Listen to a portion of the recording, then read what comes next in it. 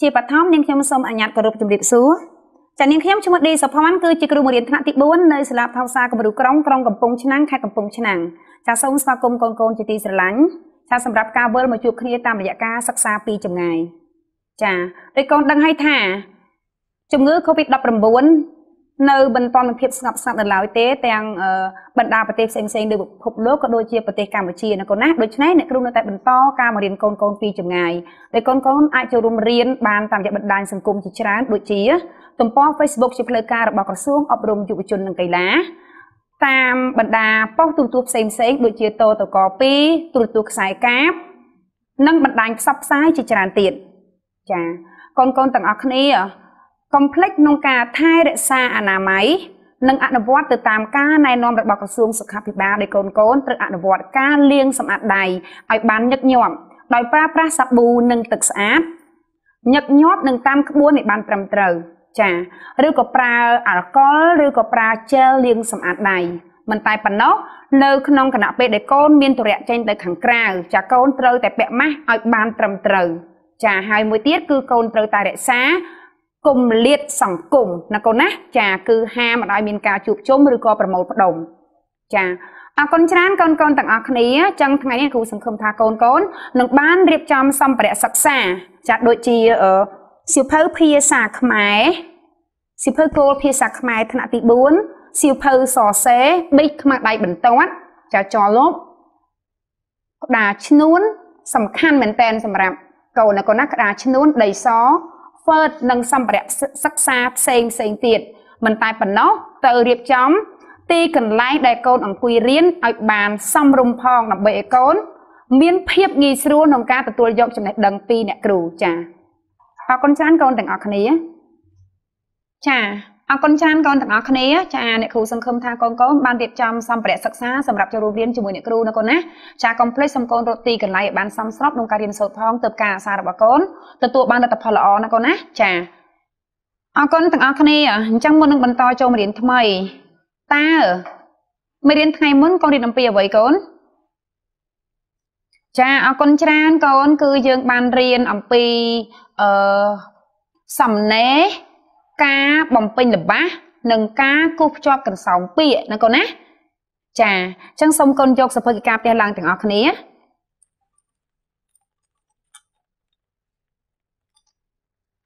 ធ្វើការផ្ទៀងជាមួយអ្នកគ្រូកូន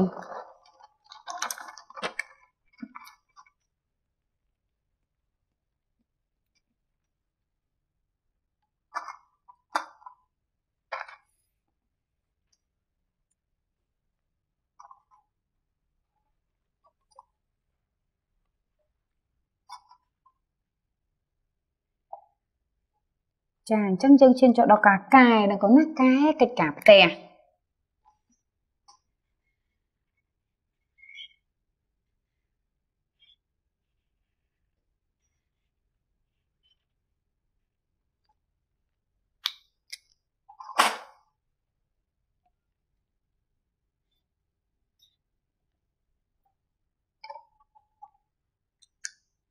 សូមកូនអានទៅទាំងអស់គ្នា កែកិច្ចការផ្ទះចគូភ្ជាប់កន្សោមពាកឲ្យបានជាលបាសសមស្របម្ដងទៀតកូនចគូភ្ជាប់កន្សោមពាកឲ្យបានជាលបាសមស្រប1ប្រជាជនភូមិខ្ញុំ2ប្រជាជនខ្មែរភាគច្រើន3កីឡា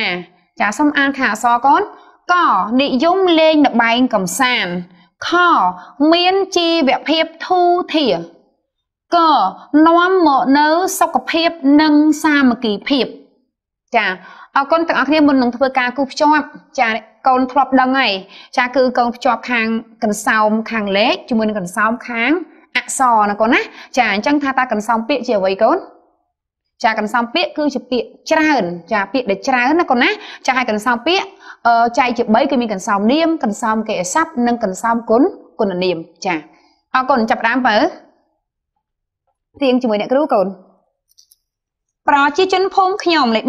1ខ្លីណាកូននិយមលេងល្បែងកំសាន្តបានទេកូនចាប់បាន តែបន្តទៅទៀតសិនប្រជាជនភូមិខ្ញុំមានជីវភាពធូរធារដាក់បានទេកន្លែងនេះមួយទៀតកូនប្រជាជនភូមិខ្ញុំនាំមកនៅសុខភាពនិងសាមគ្គីភាពចាអញ្ចឹងមានតែ2កនិងខទេដែលថាអាចប្រើប្រាស់បានណាតែកូនទៅគិតទៀតថា2ហ្នឹងមួយណាជាចម្លើយដែលត្រឹមត្រូវជាងគេបំផុតចា អញ្ចឹងគឺចម្លើយខណាកូនណាចាប្រជាជនភូមិខ្ញុំមានជីវភាពធូរធារចាសំលេខ2បើប្រជាជនខ្មែរភាគច្រើន ចានៅសល់និយមលេងល្បែងកំសាន្តនិងនាំមកនៅសុខភាពនិងសាមគ្គីភាព ចាមួយណាជាចម្លើយត្រូវជាងគេកូនចាចឹងប្រជាជនខ្មែរភាគច្រើននិយមលេងល្បែងកំសាន្តណាកូនណាចានិយមលេងល្បែងកំសាន្ត ចាកីឡាចាលេខ3កូនកីឡានាំមកនៅសុខភាពនិងសាមគ្គីភាពចានេះគឺនៅសល់ចម្លើយតែមួយនេះទេណាកូនណាហើយដាក់មើលទៅគឺអត្តន័យត្រូវគ្នាតែម្ដងកូនចាសូមកូនកូនចូលរួមអានជាមួយអ្នកគ្រូកូនកែកិច្ចការផ្ទះ ចូលគូភ្ជាប់កន្សោមពាក្យឲ្យបានជាល្បះសមស្របតែចម្លែកកូនមិនដាក់កមកទេអត់ចូលទេកូនគ្រូពាក្យគូហ្មងណាកូនណាគូភ្ជាប់កន្សោមពាក្យឲ្យបានជាល្បះសមស្របប្រជាជនភូមិខ្ញុំចាកូនមើលព្រួញកូន មានជីវភាពធូរធារចាលេខ2កូន ប្រជាជនខ្មែរភាគច្រើន ចាកូនមើលបន្តនិយមលេងល្បែងកំសាន្តចាបន្តលេខ3កូន3កីឡាចានាំ មកនៅសុខភាពនិងសាមគ្គីភាពចាអរគុណកូនតានេះសូមធ្វើការផ្ទៀងផ្ទាត់ចម្លើយរបស់កូនជាមួយចម្លើយអ្នកគ្រូលើកណ្ដាលខៀនបាទត្រូវឲ្យដាក់សញ្ញាគ្រីសណាកូនណាចាដាក់សញ្ញាគ្រីសចាអាចឲ្យប៉ាឬក៏ម៉ាក់ឬក៏បងដាក់បន្ទុកអីកូនផងណាកូនណាចាត្រូវទាំងអស់គឺបានបន្ទុក10ណាកូនណាចាហើយអ្នកគ្រូគូបេះដូងនៃក្តីស្រឡាញ់ឲ្យកូនមួយចា អរគុណកូនចូលរួមអានភាសាទៀតណាកូនណាសូមអានភាសាទៀតជាមួយអ្នកគ្រូគូភ្ជាប់កន្សោមពាក្យឲ្យបានជាល្បះសមស្រប ប្រជាជនភូមិខ្ញុំ មានជីវភាពធូរធារបន្តប្រជាជនខ្មែរភាគច្រើននិយមលេងល្បែងកំសាន្តកីឡានាំមកនៅសុខភាពនិងសាមគ្គីភាព ចាអរគុណចាស់កូនទាំងអស់គ្នាសង្ឃឹមថាកូនបានចូលរួមកែរួចរាល់ហើយចាហើយយើងនឹងបន្តចូលមេរៀនថ្មីណាកូនណាចា អញ្ចឹងថ្ងៃនេះគ្រូនឹងលើកយកការស្ដាប់មករៀនកូនទាំងអស់គ្នាការស្ដាប់កូនចង់ស្ដាប់រឿងទេបើចាឲ្យការស្ដាប់ថ្ងៃមួយអំពីអីកូនចាគឺរឿងទន្សាយនឹងខ្យងមែនទេកូនចាំបានទេថានៅទីបញ្ចប់នៃសាច់រឿងទន្សាយនឹងខ្យងតើអ្នកណាជាអ្នកឈ្នះកូនទន្សាយមានជើងវែងវែងមែនទេតែចំណែកខ្យងវិញវាកើមកើមកើមក៏ប៉ុន្តែចង់ថាអ្នកណាឈ្នះកូនចាគឺខ្យងជាអ្នកឈ្នះទន្សាយក្នុងការរត់ប្រណាំងជុំវិញត្រពាំងទឹកមែនទេកូន មិនបានជាអ្នកដែលមានជើងខ្លីខ្លីវាកើមកើមយឺតយឺតអញ្ចឹងទៅឈ្នះខាងទន្សាយក៏ដែលជើងវែងវែងចាដោយសារខ្យង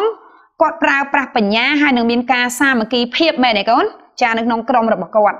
ក្រុមខ្យងរបស់គាត់ណាបដាក់គ្នាចានៅជុំវិញមាត់ត្រពាំងទឹកអញ្ចឹងនៅពេលទន្សាយរត់ទៅកន្លែងណាក៏ឮសូរបកោកហៅអើខ្យងចានៅត្រង់នេះចាគេថានៅកន្លែងកន្លែងទៅនេះក៏ឮសោខ្យងខំរត់មកមុខទៀតគូកហៅហៅខ្យងទៀត ចាក៏ខ្យងឆៃគូកនៅមុខទៀតមែនទេចាអញ្ចឹងមានដោយសារខ្យងឈ្នះទន្សាយគឺដោយសារតែការប្រើប្រាស់បញ្ញានិងការមានសាមសាមគ្គីភាពល្អក្នុងក្រុមចាកូនក៏ដូចនេះកូនណានៅពេលខ្លះកូនត្រូវតែប្រើប្រាស់ប្រាជ្ញាក្នុងការដោះស្រាយបញ្ហាហើយនឹងអីទៀតកូនចាមានការសាមគ្គីភាពគ្នាផងចាអរគុណកូនចាថ្ងៃនេះនឹងគ្រូលើកយករៀនថ្មីមួយទៀតមកមករៀនកូនគឺតកតងជាមួយនឹងការស្ដាប់ដែរចាំមើលមើលរឿងអីទៅទៅទាំងអស់គ្នា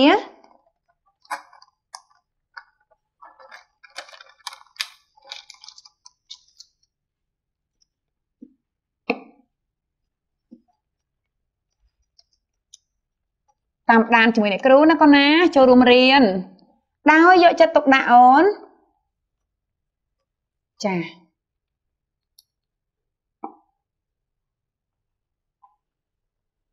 សំខាន់អានមុនអ្នកគ្រូបើអានមុនអ្នកគ្រូតោះជាមួយគ្នាកូនភាសាខ្មែរថ្នាក់ទី4មេរៀនទី2សហគមន៍ជឿនលឿន ការស្ដាប់រឿងឃាតកៈទាំង7ឃាតកៈឃាតកៈកូនស្ដាប់ពាក្យឃាតកៈទាំងអស់គ្នា ចាទំព័រទី23ណាកូនណាទំព័រទី23ចាកូនស្គាល់ពាក្យតាឃាតកៈអីទាំងអស់គ្នាដែលឮសោពាក្យអីស្តៀងពាក្យឃាតកៈហ្នឹងឯងក្នុងការអានស្តៀងគ្នាគឺពាក្យឃាតអីចាឃាតកចាឃាតកឃាតកៈណាកូនណាចាអញ្ចឹងកូនគិតទីមើលថាគិតកៈមានន័យយ៉ាងម៉េចទៅកូន ចាគិតកៈមានន័យថាអ្នកធ្វើឃាតណាកូនណាចាអ្នកធ្វើឃាតឬក៏អ្នកអីកូនធ្វើឃាតនឹងគឺអីគេចាគឺសម្លាប់ណាកូនណាចាអញ្ចឹងឃាតកៈថ្នាក់វិជានាមមានន័យថាមានន័យថាអីកូនឃាតកៈអ្នកធ្វើឃាតឬក៏អ្នកសំសម្លាប់បញ្យលពាក្យណាកូន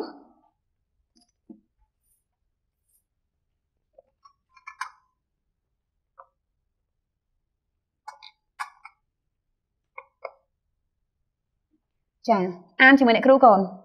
ឃាតកៈនាមអ្នកធ្វើឃាតអ្នកសម្លាប់ឃាតកៈនាមអ្នកធ្វើឃាតអ្នកសម្លាប់អញ្ចឹងកូនបកមកមើលទៅលើចំណងជើងរឿងឃាតកៈទាំង7អញ្ចឹងមានថាអ្នកសម្លាប់ទាំង7នាក់អ្នកសំទោសអ្នកសម្លាប់ទាំង7មាន7នាក់ណាសំទោសណាកូនណាចា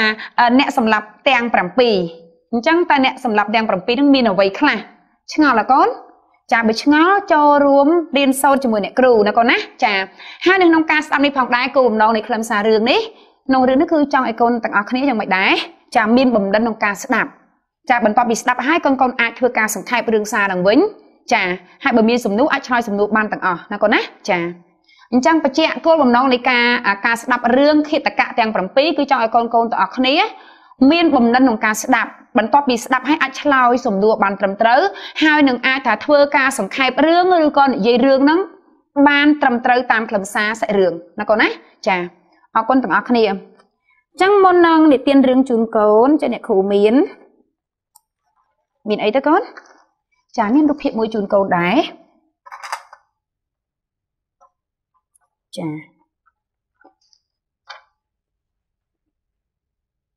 កូនមើលទាំងអស់គ្នាបើចានៅគ្រូអាចដូរអញ្ចឹងក៏បានដែរណាកូនណាយើងអាចដាក់បញ្យលពាក្យមកក្រោមដាក់រូបភាពឡើងទៅលើបានដូចគ្នាអរគុណមើលនឹងរូបភាពអ្នកគ្រូមើលកូនតើកូនឃើញអីខ្លះកូនចាគឺមានកុមារណាកូនណាកុមារទាំងអស់ប្រហែលអ្នកកូនរាប់ជាមួយអ្នកគ្រូមើលកូន 1 2 3 4 5 6 7ហើយកុមារទាំង7នាក់ស្អាតឯងមើលខ្លួនគាត់ចាយ៉ាងម៉េចដែររូបរាងកាយគាត់ចាស្គាំងស្គមមែនទេកូនចាអ្នកខ្លះចាញ់អីស្បែកឯណាកូននេះចាមានកទួលលមាស់អញ្ចឹងណាហើយអ្នកខ្លះកំពុងតែក្អួតទៀតចាអញ្ចឹងរូបរាងកាយរបស់កុមារទាំង7នាក់ហ្នឹងគឺអត់ស្អាតទេអត់មើលទៅសុភាពល្អទេណាកូនណាចាចង់ចង់ដឹងសាច់រឿងមែនតែនថាអូរឿងហ្នឹងមិនទៅបានមានរូបភាពអញ្ចឹងណាគ្រូចាអញ្ចឹងក៏ជូនសំណួរកូនសិន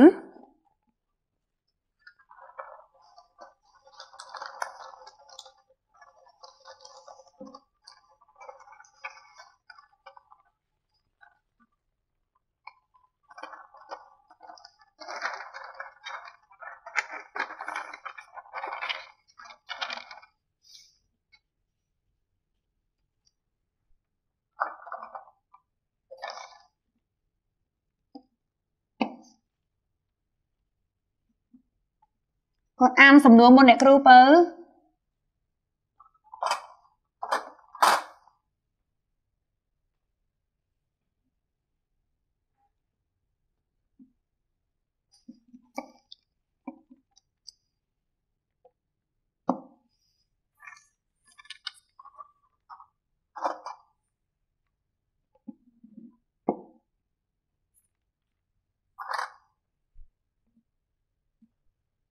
ចាតើកូនតា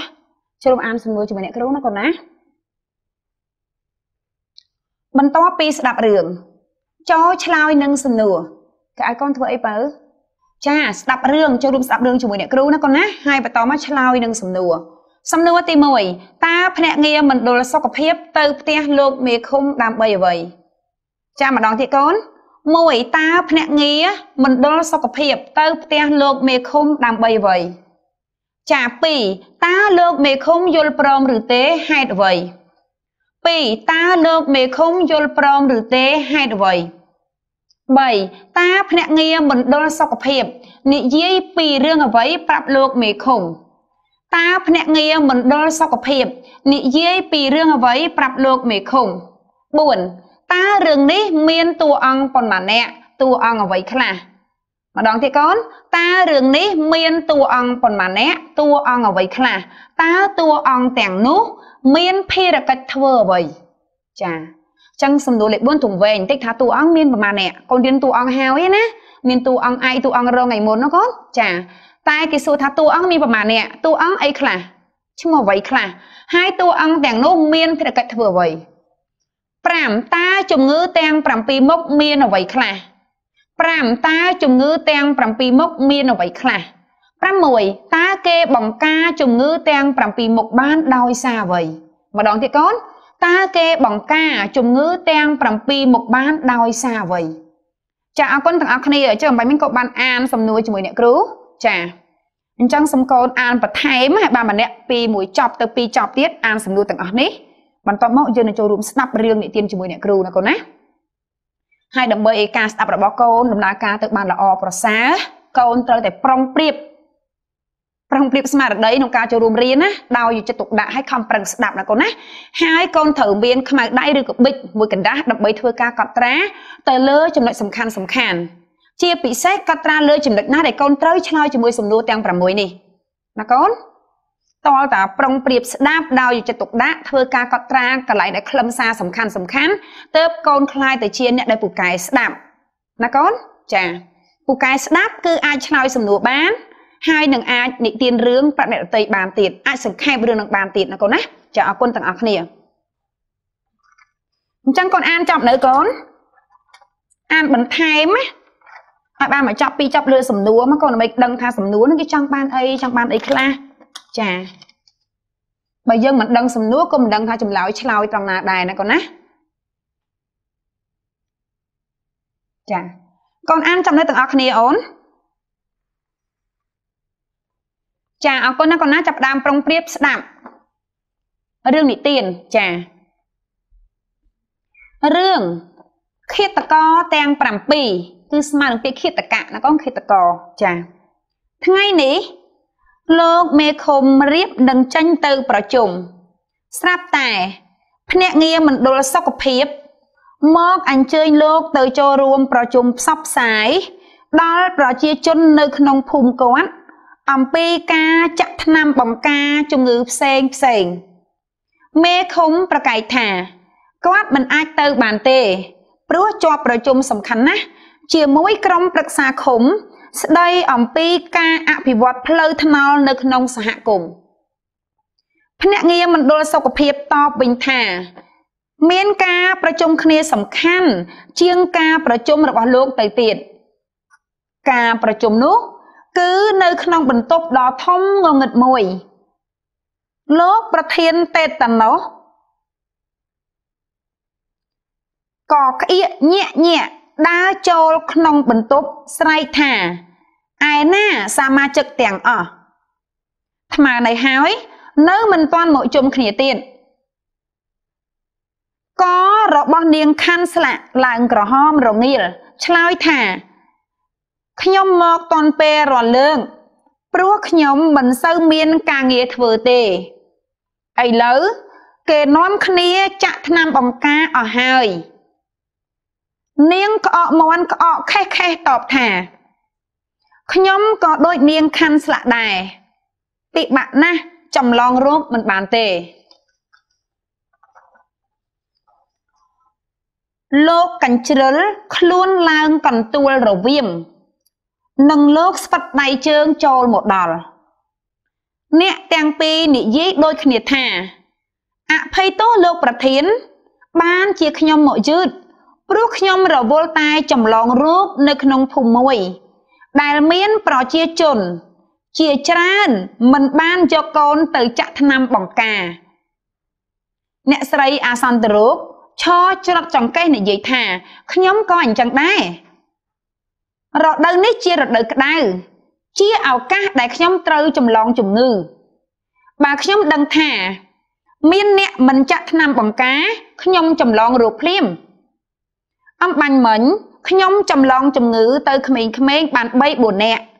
ក្នុងនោះក្មេងម្នាក់បានស្លាប់ហើយឯម្នាក់ទៀតចិត្តដាច់ខ្យល់ស្លាប់ហើយលោករបែងក្អកខេះខេះឡើងរាយការណ៍ថាខ្ញុំរវល់ណាស់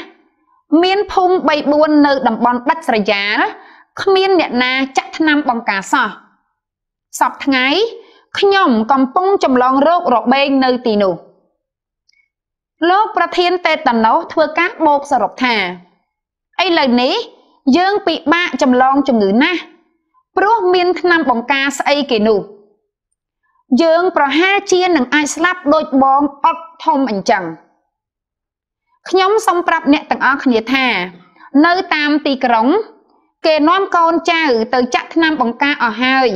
ដូច្នេះយើងត្រូវនាំគ្នាសម្រុកទៅជនបទវិញ ពិសេសនៅតំបន់ដាច់ស្រយាលព្រោះនៅទីនោះ មានកុមារមិនទាន់បានចាក់ថ្នាំបង្ការច្រើនណាស់ឥឡូវយើងមានសមាជិកថ្មីទៀតហើយ គឺលោកប្អូនអេតជំងឺនេះពុំទាន់មានថ្នាំបង្ការនៅឡើយដូច្នេះលោកប្អូនត្រូវចម្លងឲ្យបានច្រើនចាចិត្តចាប់ក្រុមសារសាក់រឿងណាកូនណាកូនស្ដាប់មើលថាតួអង្គផ្លែកផ្លែកអកូនចាមានតាំងពីអីខ្លះកូន មានតេតណូសមានកញ្ជ្រឹលមានរបេងស្វិតដៃជើងអត់ធំអេតអីហ្នឹងហ៎អញ្ចឹងទាំងអស់ហ្នឹងសិតសឹងតែជាអីកូនទាំងអស់គ្នាចាអរគុណណាកូនណាសូមបន្តឥឡូវកូនគិតមើលបន្ទាប់ពីបានស្ដាប់ការរៀបរាប់ការនិយាយរឿងរបស់របស់អីកូនរបស់ពេទ្យរបស់អឺភ្នាក់ងារមណ្ឌលសុខភាពណាកូនណាហើយសួរថាតើលោកមេឃុំនឹងព្រមទៅទេចាប់ព្រមទៅចូលរួមប្រជុំអត់កូន ចឹងគាត់ចាត់ទុកថាការប្រជុំរបស់គាត់មុនសំខាន់ជាងឬការប្រជុំជាមួយភ្នាក់ងារមណ្ឌលសុខភាពអឺសំខាន់ជាងគាត់មើលជំងឺកុំស្ដាប់មិញជំងឺទាំង7ហ្នឹងបើសិនចូលដល់ទៅទៅខ្លួនកុមារឬខ្លួនមនុស្សសួរថាពួកគាត់មានអឺវាសនាយ៉ាងម៉េចដែរចាអាចឈានដល់ការស្លាប់មែនទេអញ្ចឹងកូនគិតតិចមើលថាតើមេឃុំព្រមទៅហ៎គាត់គិតថាការអភិវឌ្ឍសំខាន់ជាងឬក៏អាយុជីវិតរបស់មនុស្សក្នុងភូមិគាត់សំខាន់ជាង ចាអញ្ចឹងសូមផ្ទៀងចម្លើយជាមួយអ្នកគ្រូណាចាមានកូនខ្លះឆ្លើយថាមេឃុំគាត់ព្រមទៅជាមួយភ្នាក់ងារមណ្ឌលសុខភាពមែនទេអ្នកខ្លះថាមិនព្រមមែនទេអញ្ចឹងសូមស្ដាប់បន្តកូនលោកមេឃុំស្ដាប់ហើយលន់មាត់ថាអូគូឲ្យបារម្ភណាស់ខ្ញុំនឹងទៅចូលរួមចាចាប់ឲ្យកូនរឿងនេះយ៉ាងម៉េចដែរចុងក្រោយអញ្ចឹងលោកមេឃុំបានទៅចូលរួមណាកូនណាចាអរគុណទាំងអស់គ្នាយ៉ាងម៉េចដែរបន្តពីបានស្ដាប់ការនិយាយរឿងរបស់អ្នកគ្រូកូនអាចឆ្លើយសំណួរបានទេកូនចា ចឹងអ្នកគ្រូបារម្ភថាកូនស្ដាប់អត់តន់ណាកូនណាចឹងអ្នកគ្រូសុំនិយាយរឿងម្ដងទៀតខំផ្ទៀងឲ្យស្ដាប់ដោយចិត្តទុកដាក់មិនបាញ់មិញអ្នកគ្រូសង្ឃឹមថាកូនបានកត់ខ្លះហើយប្រហែលជាបាន50ទៅ60%ហើយខ្លឹមសារសំខាន់មែនទេខ្លឹមសារដែលឆ្លើយសំណួរទាំងអស់នេះចឹងបន្ថែមឲ្យគ្រប់90ឬក៏100ណាកូនណាចាអរគុណបើរឿងឃាតកៈទាំង7ថ្ងៃនេះលោកមេខុំរៀបនឹងចេញទៅប្រជុំ ស្រាប់តែភ្នាក់ងារមណ្ឌលសុខភាពមកអញ្ជើញលោកទៅចូលរួមប្រជុំផ្សព្វផ្សាយដល់ប្រជាជននៅក្នុងភូមិគាត់អំពីការចាក់ថ្នាំបង្ការជំងឺផ្សេងផ្សេងមេឃុំប្រកែកថាគាត់មិនអាចទៅបានទេព្រោះជាប់ប្រជុំសំខាន់ណាស់ជាមួយក្រុមប្រឹក្សាឃុំស្ដីអំពីការអភិវឌ្ឍផ្លូវថ្នល់នៅក្នុងសហគមន៍ភ្នាក់ងារមណ្ឌលសុខភាពតបវិញថា មានការប្រជុំគ្នាសំខាន់ជាងការប្រជុំរបស់លោកទៅទៀតការប្រជុំនោះគឺនៅក្នុងបន្ទប់ដ៏ធំងងឹតមួយ លោកប្រធានតេតណោះក៏ក្អៀកញាក់ញាក់ដើរចូលក្នុងបន្ទប់ស្រែកថាឯណាសមាជិកទាំងអស់ថ្មនេះហើយនៅមិនទាន់មកជុំគ្នាទៀតករបស់នាងខាន់ស្រាក់ឡើងក្រហមរងាលឆ្លើយថាខ្ញុំមកតាន់ពេលរលើកព្រោះខ្ញុំមិនសូវមានការងារធ្វើទេឥឡូវគេនាំគ្នាចាក់ថ្នាំបង្ការអស់ហើយនាងក្អកមន់ក្អកខេះខេះតបថា ខ្ញុំក៏ដូចនាងខាន់ស្លាក់ដែរពិបាកណាស់ចម្លងរោគមិនបានទេលោកកញ្ជ្រិលខ្លួនឡើងកន្ទួលរវៀមនិងលោកស្វិតដៃជើងចូលមកដល់អ្នកទាំងពីរនិយាយគ្នាថាអភ័យទោសលោកប្រធានបានជាខ្ញុំមកយឺតព្រោះខ្ញុំរវល់តែចម្លងរោគនៅក្នុងភូមិមួយ ដែលមានប្រជាជនជាច្រើនមិនបានយកកូនទៅចាក់ថ្នាំបង្ការអ្នកស្រីអាសន្តរោគឈរច្រត់ចង្កេះនិយាយថាខ្ញុំក៏អញ្ចឹងដែរ រដូវនេះជារដូវក្តៅជាឱកាសដែលខ្ញុំត្រូវចម្លងជំងឺបើខ្ញុំដឹងថា មានអ្នកមកចាក់ថ្នាំបង្ការ មានអ្នកមិនចាក់ថ្នាំបង្ការខ្ញុំចម្លងរោគភ្លាម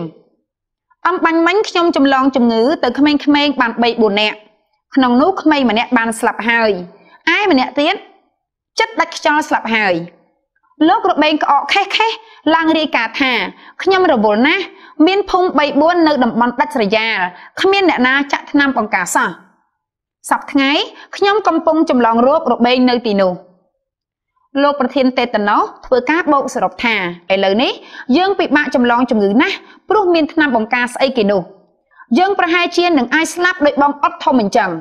ខ្ញុំសូមប្រាប់អ្នកទាំងអស់គ្នាថានៅតាមទីក្រុងគេនាំកូនចៅទៅចាក់ថ្នាំបង្ការអស់ហើយដូច្នេះយើងត្រូវនាំគ្នាសម្រុកទៅជនបទវិញ ពិសេសតំបន់ដាច់ស្រយាលព្រោះនៅទីនោះមានកុមារមិនទាន់បានចាក់ថ្នាំបង្ការច្រើនណាស់ឥឡូវយើងមានសមាជិកថ្មីទៀតហើយគឺលោកប្អូនអេតជំងឺនេះពុំទាន់មានថ្នាំបង្ការនៅឡើយដូច្នេះលោកប្អូនត្រូវចម្លងឲ្យបានច្រើនលោកមេឃុំស្ដាប់ហើយលន់មាត់ថាអូគូឲ្យបារម្ភណាស់ខ្ញុំនឹងទៅចូលរួមចាអរគុណច្រើនកូនទាំងអស់គ្នាយ៉ាងម៉េចដែរបន្តពីបានស្ដាប់ការនិទានរឿងរបស់អ្នកគ្រូចំនួន2សារបានកត់ត្រាបានច្រើនទេកូនចា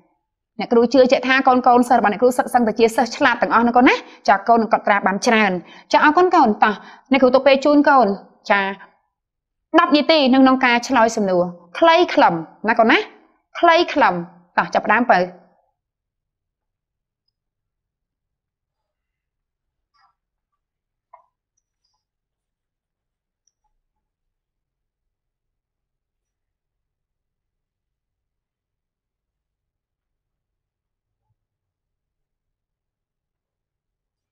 ចាអរគុណច្រើនកូនទាំងអស់គ្នាយ៉ាងម៉េចដែរសូមបង្ហាញកិច្ចការរបស់កូនណាកូនណាចាបន្តមកយើងធ្វើការផ្ទៀងផ្ទាត់ទាំងអស់គ្នាណាកូនផ្ទៀងផ្ទាត់ចម្លើយជាមួយអ្នកគ្រូ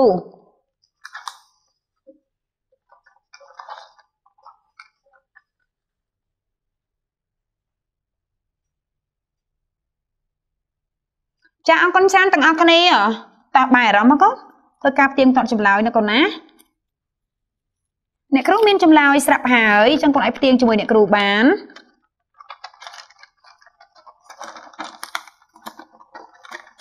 អានមុនអ្នកគ្រូមកកូន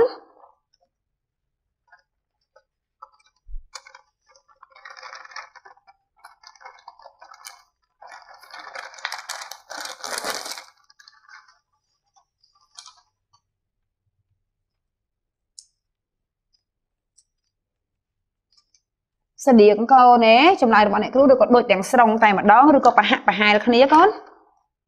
ឬក៏ខុសគ្នា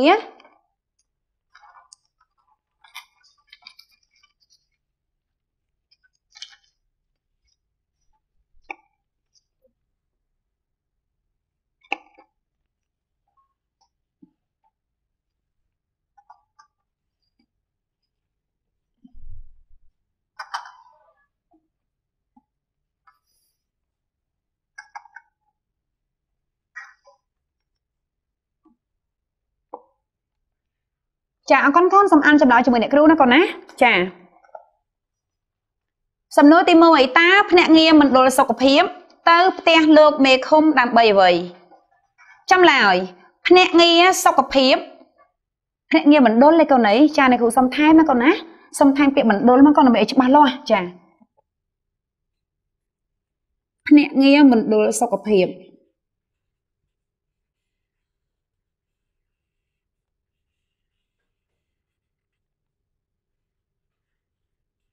ចាមកកូនមកភ្នាក់ងារមណ្ឌលសុខភាពមកអញ្ជើញលោកមេឃុំចូលរួមប្រជុំសັບផ្សាយដល់ប្រជាជននៅក្នុងភូមិអំពីការចាក់ថ្នាំបង្ការជំងឺផ្សេងផ្សេងណាកូនម្ដងទៀតភ្នាក់ងារមណ្ឌលសុខភាពមកអញ្ជើញលោកមេឃុំចូលរួមប្រជុំផ្សព្វផ្សាយដល់ប្រជាជននៅក្នុងភូមិអំពីការចាក់ថ្នាំបង្ការជំងឺផ្សេងផ្សេងចា អរគុណកូនសូមចូលសំណួរទី2 2តើលោកមេឃុំយល់ព្រមឬទេហេតុអ្វីចាលោកមេឃុំមិនយល់ព្រមព្រោះគាត់ជាប់ប្រជុំសំខាន់ជាមួយក្រុមប្រឹក្សាឃុំ ស្ដីអំពីការអភិវឌ្ឍផ្លូវថ្នល់នៅក្នុងសហគមន៍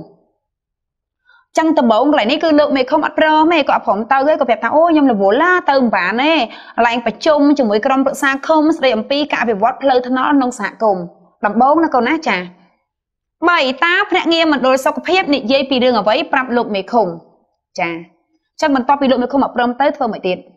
ចាចម្លើយភ្នាក់ងារមណ្ឌលសុខភាពបាននិយាយរឿងឃាតករទាំង7ប្រាប់លោកមេឃុំចឹងក៏អាចប្រើពាក្យថាឃាតកៈក៏បានឃាតករក៏បានដូចគ្នានៅកូនណាចាលេខ4តើរឿងនេះមានតួអង្គប៉ុន្មាននាក់ចាចម្លើយរបស់អ្នកគ្រូគឺរឿងនេះមានតួអង្គ7នាក់គឺចាតេតាណូខាន់ស្លាក់ ក្អកមាន់កាញ់ជ្រិល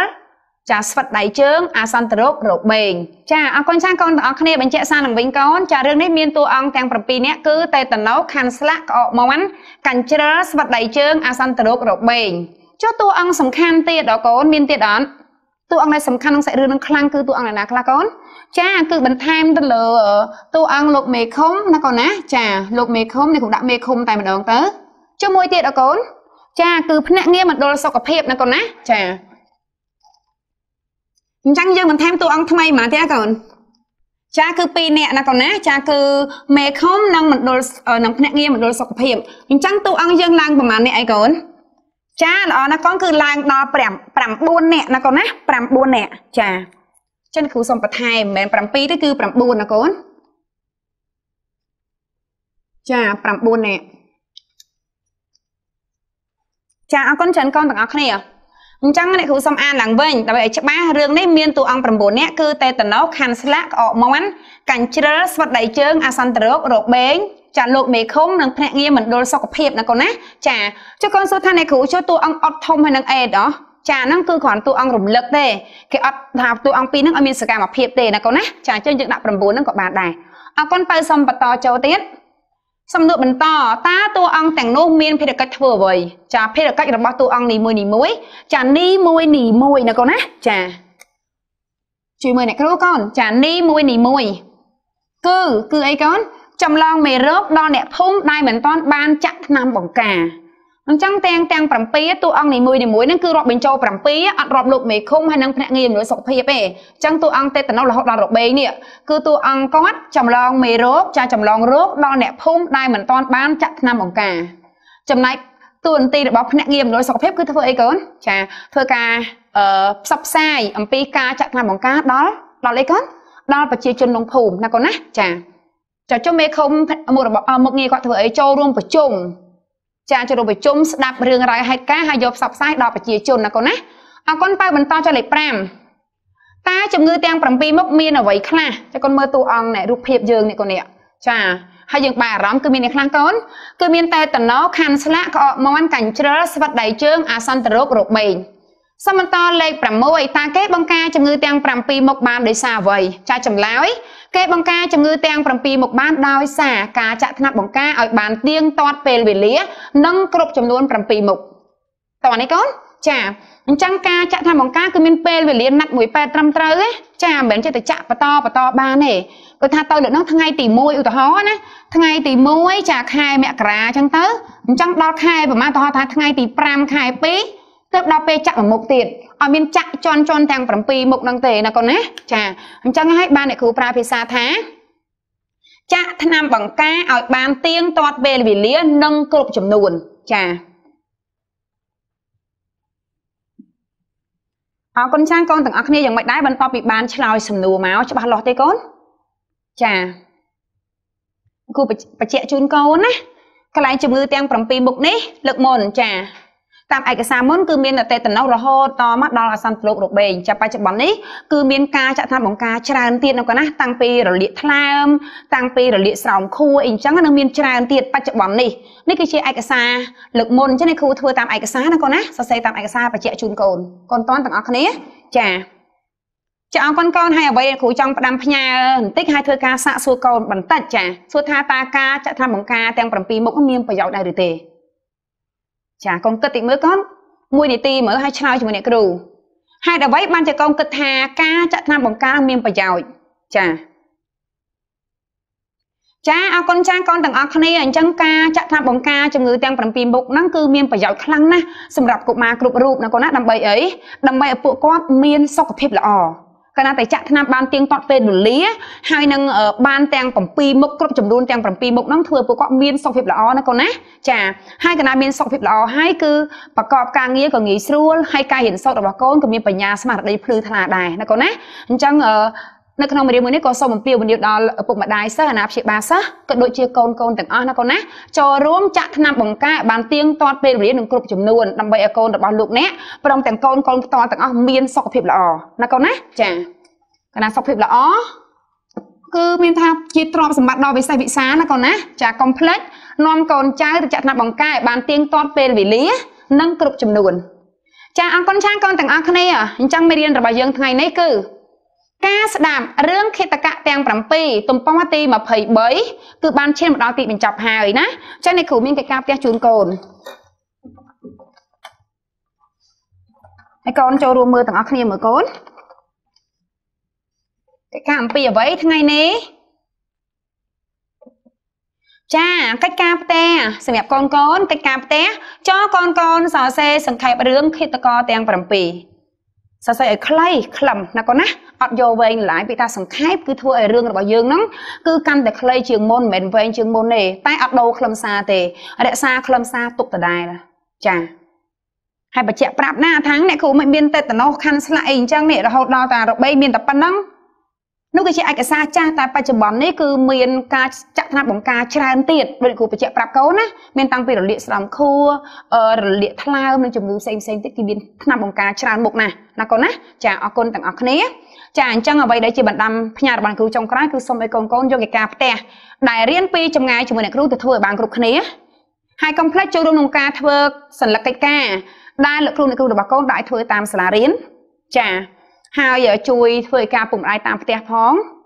ហើយកុំភ្លេចថែរក្សាចាសុខភាពរបស់កូនរបស់គ្នាដោយគោរពទៅតាមក្បួនអនាម័យចាទាំង3ប្រការគឺការហូបស្អាតផឹកស្អាតនិងរស់នៅស្អាតណាកូនណាកុំភ្លេចលាងសម្អាតដៃជាប្រចាំឬក៏ញឹកញាប់ដោយប្រើប្រាស់សាប៊ូជាមួយនឹងទឹកស្អាតដោយប្រើប្រើប្រាស់ជែលលាងសម្អាតដៃចាអាល់កុលលាងសម្អាតដៃចាប់ពាក់ម៉ាស់ការពារមុនពេលដែលកូនចេញទៅក្រៅផ្ទះចេញទៅខាងក្រៅចាហើយនឹងការពារ គម្លាតសង្គមផងដែរកុំឲ្យមានការជួបជុំច្រើនគ្នាអីអញ្ចឹងណាកូនណាចាអរគុណកូនទាំងអស់គ្នា ចាជាទីបញ្ចប់សូមអឺជូនពរកូនទាំងអស់គ្នាឲ្យមានសុខភាពល្អចាមានបញ្ញាឆាប់វាងវៃនិងសម្រាប់រាល់ការងារទាំងអស់ជាពិសេសសូមឲ្យកូនខ្លះជាសិស្សល្អសិស្សបកាយគ្រប់គ្នាទាំងអស់ណាចាអរគុណជម្រាបលាកូន